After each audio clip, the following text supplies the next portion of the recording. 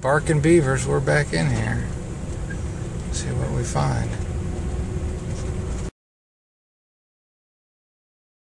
The campground has a small but nice shower house and restrooms, and it has a dump station. The sites are just uh, water and power, but it's a good place. I liked it.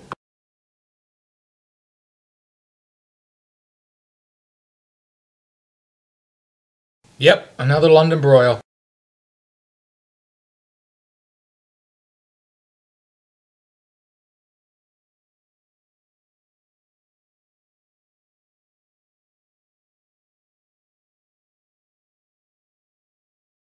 This is day two here. Very rustic, very quiet. I'm about three miles from Lake Superior.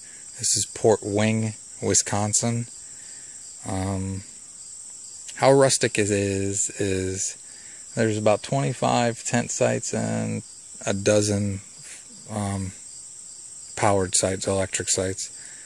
Very nice. Um, when I first got in, right behind me pulled the owner, Vicky, very nice lady and within five minutes of getting here, I was helping them unload a uh, 500 pound log splitter. so uh, you're made to feel welcome pretty quickly. Great people, great price. Um, I'll try to do some more on it, but I gotta get back to the RV now. Basically, no cell signal and no Wi Fi. This is, and it gets really dark here at night, but it's cool. Wasn't in love with the uh, gravel road. There's a couple, three miles of gravel road, so I drove slowly. And hey, what are you going to do?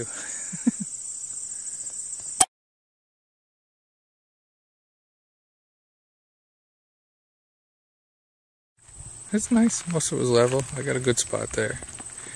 And the tent section's back there. I'll take you back there. And again, just opened this camp not very long ago, and uh, a fellow camper told me that she did pretty decent this summer, but it's pretty much empty now. I think there's three of us here. 18 bucks a day, full power.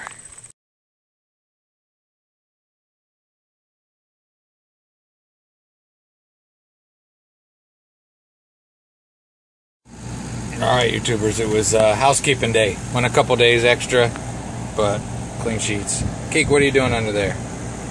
Let's see if Vinny wants to go outside. You're walking on Wisconsin ground. Huh?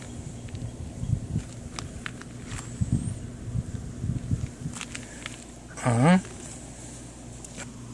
No, no, no. Don't go under. Don't go under. Do not go under. No under.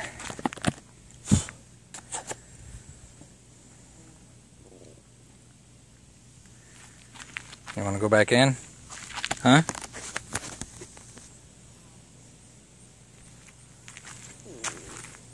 Your picnic table over there. Don't make me throw this camera down. I have to chase you. To go back in? Grass? You haven't been outside since you were a stray, really. Not without being in the tent. I opened the back door at my house and he bursts into the bathroom and hides behind the toilet. There's Vinny outside.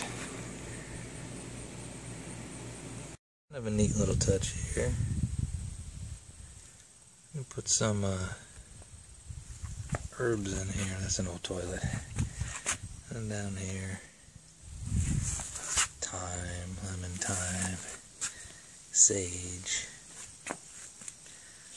marjoram, tarragon, rosemary basil, or basil if you're British.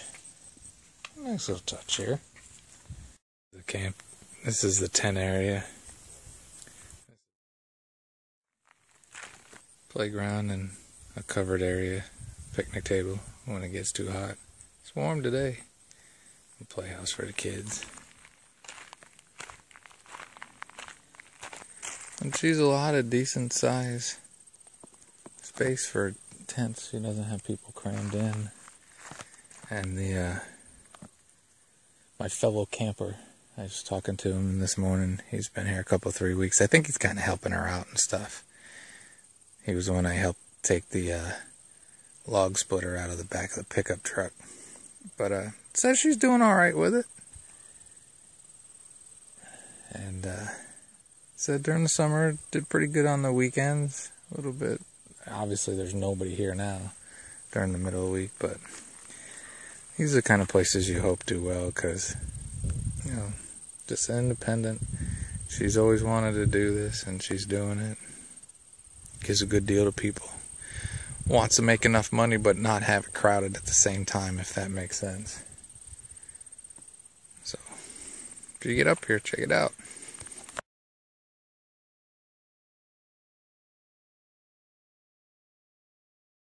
Trail down here, so Let's see what I can find. No bouncing. Got a little picnic area set up here in the woods. on all the birch back there. Mini fire ring. Nice. Really nice people. I hope it works out. Campsite, my bad. But for those of us that think uh, yeah, I'd love to run a campground. It'd be great. It'd be wonderful. It's a lot more work than we realize. So I'm told. Okay. I've walked far enough to find out there's a few more mosquitoes than I want to deal with today. So that's enough. Have a great and wonderful day, YouTubers. I will say, if you do get in the Port Wing area of Wisconsin, this was a very nice campground at a good price. I recommend.